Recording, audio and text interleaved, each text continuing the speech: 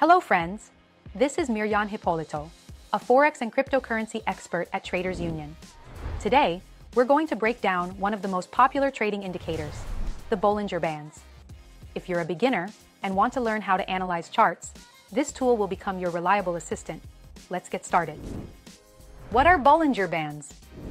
So, Bollinger Bands are an indicator that helps you understand when the price of an asset is in an overbought or oversold zone.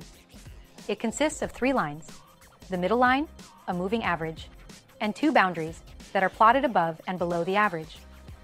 These boundaries expand or contract depending on market volatility. How does it work? When the price touches the upper boundary, it signals that the asset may be overbought, and the price could turn downward.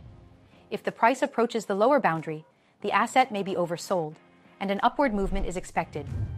The key here is not to take these signals literally, but to use them together with other analytical tools. How to use Bollinger Bands in trading?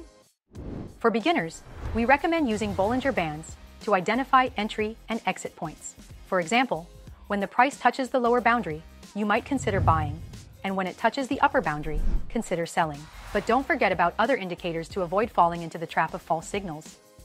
Bollinger Bands are a great tool for market analysis, especially for beginners.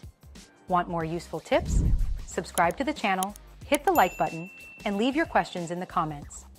Here at Traders Union, we're always ready to help you become a professional trader. Wishing you successful trades, and see you next time.